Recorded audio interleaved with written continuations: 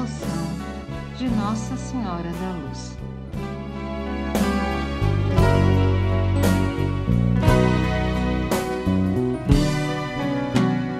Traz em si um Deus escondido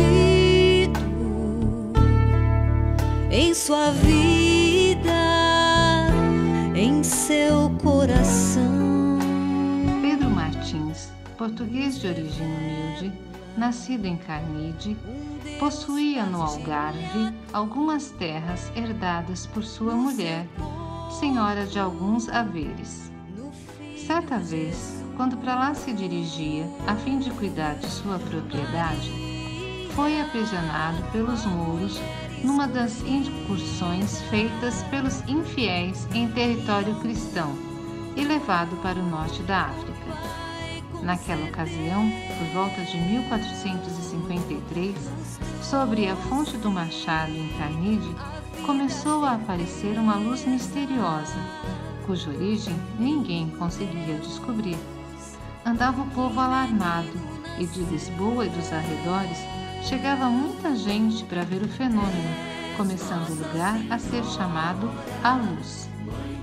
Pedro Martins, no seu cativeiro, desanimado da intercessão dos homens para libertá-lo, recorreu àquela que é o socorro dos aflitos e a esperança dos desesperados. Suas orações foram ouvidas pela Virgem Maria, que lhe apareceu trinta noites seguidas em sonho, procurando consolá-lo. Na última noite, ela prometeu-lhe que ao acordar se encontraria em Carnide, mas que aí deveria procurar uma imagem sua escondida perto da fonte do machado, em sítio que lhe seria indicado por estranha luz. Quando a encontrasse, deveria erguer no local uma ermida em sua homenagem. No dia seguinte, como havia lhe mandado e anunciado a Virgem, Pedro Martins amanheceu em sua querida cidade natal. Em agradecimento por tão milagrosa libertação, o ex-cativo procurou logo realizar o desejo da Mãe Santíssima. Em companhia de um parente, saiu certa noite à procura da imagem. A luz cintilava sobre a fonte. Caminharam por entre o arvoredo e notaram que ela ia se deslocando até que em determinado momento parou. Limparam o local e, ao removerem algumas pedras, encontraram a efígie da Rainha do Céu. Assim se espalhou a notícia do feliz achado. Grande foi a afluência do povo ao lugar, e a Virgem Maria aí começou a ser invocada com o título de Nossa Senhora da Luz. Logo que pôde, Pedro Martins iniciou a construção da ermida com a permissão do bispo de Lisboa, que se prontificou a lançar a, primeira pedra em solene cerimônia religiosa.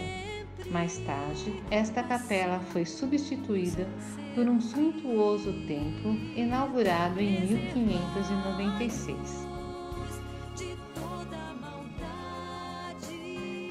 Festa de Nossa Senhora da Luz começou a ser celebrada todos os anos e as casas nobres portuguesas disputavam entre si a honra de se encarregarem das despesas.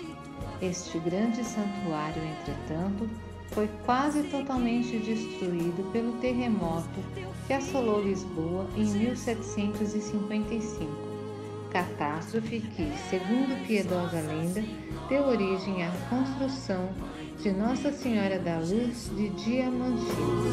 És Maria na história, Nossa Senhora da Luz.